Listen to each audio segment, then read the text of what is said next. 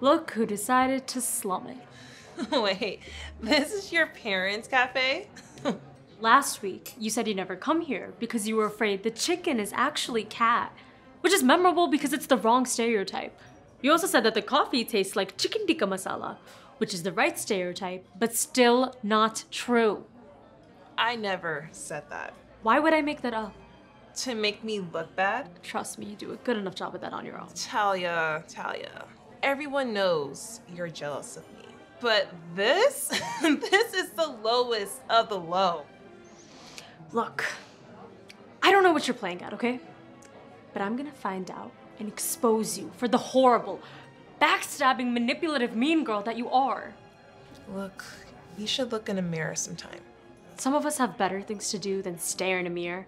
But the next time you do, you might want to pluck that unibrow a little bit better. Ugh,